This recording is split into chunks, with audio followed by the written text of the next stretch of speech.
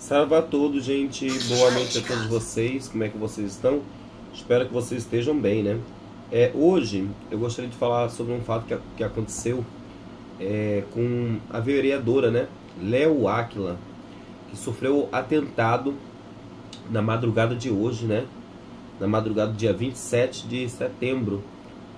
É, então, a gente sabe muito bem que tudo é uma máfia, né? Sei se vocês sabem, tudo é uma máfia. Tudo nessa vida é uma máfia. Seja a máfia religiosa, seja a máfia política, seja a máfia em qualquer lugar. Sempre existe máfia, sempre vai existir máfia, né? Eu não sou ninguém. Eu só estou aqui para dar minha opinião, né?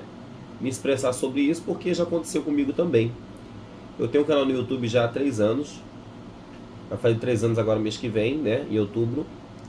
E e eu fazia muitos vídeos combatendo as coisas que acontecia tanto no Candomblé quanto na Umbanda e em outras religiões também. Tipo, é, é, abusos e entre outros. Eu não vou falar muito sobre o que acontece para não cair o vídeo, né? Mas muita coisa que acontece por detrás dos bastidores em todas as religiões, só que as pessoas, as, as pessoas preferem não falar porque sabe que a máfia é muito grande. Então aconteceu uma situação há três anos atrás, do Iaô que morreu, né? Ele não tomou insulina, o pai de santo não deixou ele tomar insulina e tal. E aí eu fiz um vídeo falando sobre aquilo ali. Várias pessoas gostaram do vídeo, porque apareceu alguém pra falar, pra rebater, pra botar a cara, né? Pra bater. Igual as pessoas gostam, vocês, o, o, todo mundo gosta de que apareça alguém pra botar a cara tapa. Mas na hora que o problema acontece, todo mundo cai fora. E desse mesmo jeito aconteceu comigo. Eu falei vários problemas que aconteceu no Candomblé comigo. Falei vários problemas que aconteceu com diversas pessoas no meu canal. Dei voz e porta para essas pessoas falarem. E aí aconteceu que meu canal começou a sofrer ataques, né? Eu comecei a sofrer ataques também, sofri ameaças, sofri ataques, é, é, falaram várias coisas de mim. É, até as próprias pessoas da religião também é, me atacou também, dizendo que era mentira, que que não, ia, não acontecia nada disso, e que eu estava inventando, que eu estava queimando a religião, enfim, né? Então o que acontece? Essa situação que aconteceu com a Leo Aquila, infelizmente, o que eu tenho a dizer é que não é o primeiro e não vai ser o último ataque feito a ela. Por quê? Ela é uma pessoa que infelizmente é minoria. Nós gays, homossexuais, somos minoria. Estamos sendo maioria agora, crescendo, né? Vamos dizer assim, maioria não, crescendo mas não somos a maioria, né? É, transexual né, sofre muito ataque. As pessoas não aceitam. E principalmente no, no caminho que ela está se, tá se envolvendo, que é o caminho político, né? Então ela está se envolvendo nesse caminho. Esse caminho é muito perigoso. Todo mundo sabe que muitas pessoas já foram, né? Por causa de falar demais, por causa de saber demais. Então quando você sabe demais, quando você sabe demais, você acaba se tornando alvo das pessoas. Hoje em dia, dentro da religião, eu digo para as pessoas que eu não sei de nada. Não sei de nada, não quero saber, não quero dar minha opinião, não quero dar meu parecer, porque fazendo isso, eu evito ser alvo das pessoas. E não é só a mim, é a mim, a minha família, é meus filhos de santo, é a família dos filhos de santo. Olha quanta vida está envolvida. Só por causa ó, da língua. Quando a língua fala, o corpo padece. Entendeu?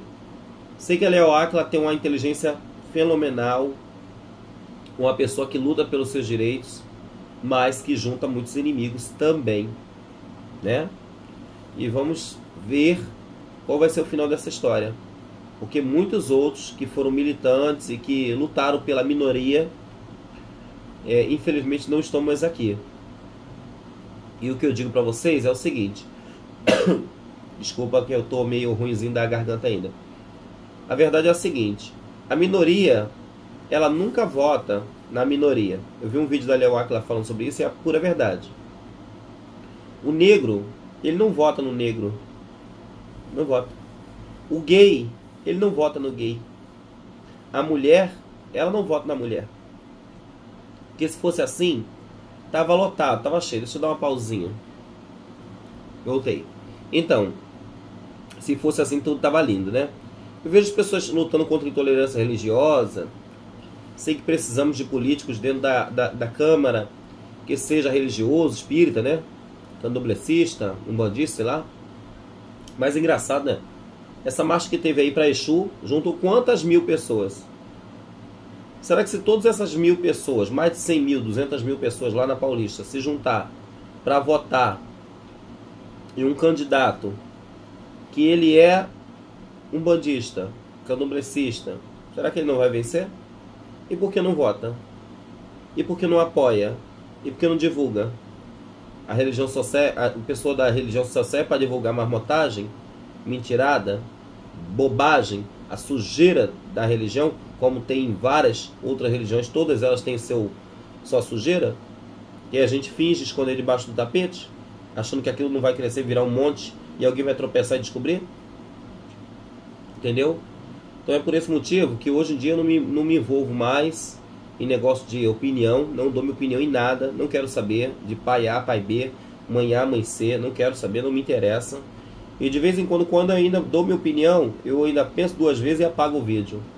Porque às vezes aquela vontade de, de gritar é maior. Aí a gente grita, mas esquece que lá na frente pode alguém escutar e não gostar. E essa pessoa a gente não conhece. Porque aqui a gente bota a cara a tapa, você, vocês me conhecem, mas eu não conheço vocês. Covardia está em todo lugar. Nem Jesus Cristo, que foi o um, médio supremo, ele não escapou da covardia. Imagine a gente. Então por isso que é um dos motivos que no meu terreiro eu seleciono o máximo as pessoas que vão. Eu, eu, eu vejo, vejo, reviso quem é as pessoas que vão, quem é as pessoas que eu vou convidar, porque eu não abro meu terreiro para qualquer pessoa, não abro meu terreiro para qualquer estranho, principalmente gente que vem da internet. Infelizmente, né? Então, gente, é isso. Espero que vocês tenham gostado do vídeo. Muito triste o que aconteceu com, a, com Léo Aquila, né? Espero que ela esteja bem. Porque o que eu soube na reportagem não foi muito grave, né? Assim, não atingiu ela, graças a Deus, e os orixás, e o Xumaré, né? Que eu sei que é um grande protetor da, da Léo. E eu sou uma pessoa que eu não vejo diferença no homem trans, na mulher trans. Não vejo diferença no gay, no homossexual, no, no, no, no na lésbica. Não vejo diferença. Mas tem gente que vê. Eu tenho filhos de santo da minha casa que são transexuais. Para mim são o que, ela, que eles dizem que são. Eu tenho um que é um homem. Então, para mim, vai ser um homem. Eu não vejo como mulher. Nem me interessa no nome, no nome, no nome da pessoa antigo. Não me interessa, não quero saber. Não pergunto, não vejo diferença. Mas sei que tem gente que se incomoda. Que dentro do meu próprio terreiro já teve gente que se incomodou. Infelizmente. Né? Eu acho que a vida dos outros não é um particular meu. A vida dos outros só vai ser um particular meu quando ela estiver me afetando. Quando alguém dentro do meu terreiro usar esse negócio de transexual para atingir alguém, aí eu vou, vou, aí eu vou me incomodar. Quando alguém usar esse termo, eu sou gay, você tem que me respeitar para punir alguém, eu vou me incomodar. Mas enquanto é a escolha da pessoa e não está envolvendo o meu terreiro, minha vida e a vida dos demais, eu não me interesso. Às vezes dar opinião nas coisas pode acarretar furacões gigantes. Aquela lei, sabe, da borboleta, que bate asa aqui e vira um furacão lá do outro lado do mundo? É mais ou menos isso. Saravá.